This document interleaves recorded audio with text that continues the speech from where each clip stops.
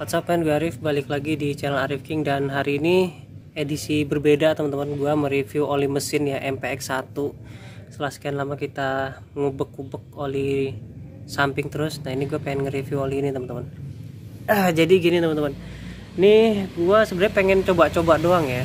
Maksudnya apakah dulu gue denger isu bahwa oli mesin untuk motor dua tak itu nggak begitu berpengaruh dan nggak begitu penting ya. Jadi akhirnya gue riset sendiri apakah dari segi fungsinya demikian? Demikian artinya tuh ya nggak begitu berpengaruh atau mungkin dari segi fisiknya juga nggak banyak berubah. Nah jadi gue pengen ngetes sendiri teman-teman gue taruh di botol transparan gitu apakah fisiknya juga berubah warna ya kan? Berubah tekstur gitu gue pengen nyoba sendiri.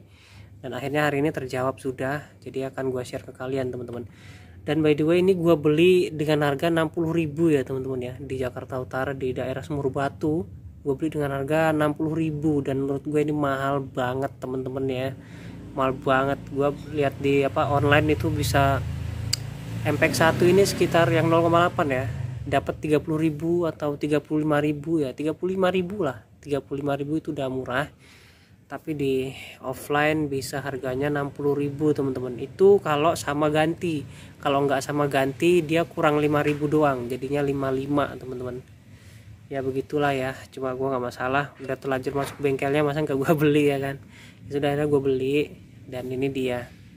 Dan habis ini gua akan nunjukin bentuk fisiknya apakah berubah atau enggak teman-teman. Jadi jangan di skip ya dan ini dia teman-teman. Sebelumnya gue pakai oli Yamalup selama kurang lebih 4 bulan ya teman-teman. Dan akhirnya baru gue ganti sekarang. Dan ini kalian juga mungkin merhatiin atau enggak ya? Kalau gue sih baru merhatiin kali ini teman-teman. Karena ternyata ternyata faktanya teman-teman ini olinya warnanya berubah dan apa ya teksturnya juga berubah teman-teman ini dia. Aduh tangan gue licin lagi nih. Nih ini oli bekasnya teman-teman ya. Nih warnanya kayak gini teman-teman tuh gelap dan dibilang jernih sih tuh kayak gitu temen tuh. Ya gelap sih cuma nggak sehitam kayak oli patak ya cuma dia hitam teman-teman tuh dan dia encer ya encer banget. Tadi gua pas nuang tuh kelihatan encer ya. dan ini yang baru teman-teman nih. Tuh. Ini baru nih. Tuh bayangin bedanya tuh tadi gua compare ya ini kan ada sisa sedikit ya pas masih belum gua tuang masih ada sisa yang baru. Ini Olia Malup dia warnanya persis dengan MPX yang baru ya. Olia Malup yang baru itu mirip dengan oli MPX 1 yang baru sama-sama kayak gini warnanya. Tapi setelah dipakai menjadi bekas dia jadi begini teman-teman. Artinya ada perubahan warna dan bentuk fisik teman-teman. Ini kalau yang baru tuh begini nih tuh. Berat ya tuh. Lebih kental. Sedangkan yang second tuh tuh. Lebih encer encer. Gitu temen gitu teman-teman ya. Berarti kesimpulannya secara fisik ya secara fisik oli mesin untuk motor dua tak itu berpengaruh teman-teman ini gue pemakaian 4 bulan ya. Ini berpengaruh menjadi lebih encer dan juga berubah warna menjadi lebih gosong gitu. Dan untuk pemakaiannya ya teman-teman ya selama 4 bulan nih gue sekalian nge-review ini nih ya malup ya untuk Yamalup ya untuk Yamalup.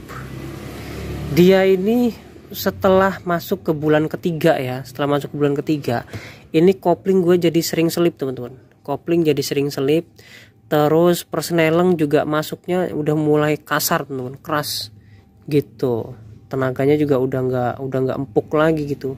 Ternyata berasa teman-teman. Cuma ya di area situ-situ doang antara kopling sama persneling cuma kalau masalah gear ya gue nggak begitu ngerasain teman-teman setelah gue ganti kebetulan kalau untuk oli mesin itu kita bisa ngerasainnya instan ya teman-teman. Jadi ketika oli bekasnya dituang ditukar oli baru itu langsung berasa ya kan. Beda dengan oli samping. Kita harus nunggu sirkulasi dulu selama mungkin sekitar ya puluhan kilo 50 kiloan baru berasa. Nah kalau oli mesin enggak. Itu jadi langsung tuang langsung berasa gitu teman-teman. Dan ini rasanya ya enak-enak aja gitu loh. Sama kayak pas pakai oli Yamalup ini baru. Dan ketika gue ganti MPX 1 ya baru sama sama-sama enak persnelingnya dan juga koplingnya tuh nggak selip gitu. Nah mungkin untuk empat bulan ke depan gue nggak tahu perubahannya kayak gimana ya teman-teman. Cuma kalau kata teman gue oli Honda ini ya oli ini oli gratisan gitu. Ketika servis gratis motor Honda kalian baru kan pakainya oli ini gitu oli mineral oil setahu gue ya. Gitu teman-teman. Itu untuk review pemakaiannya.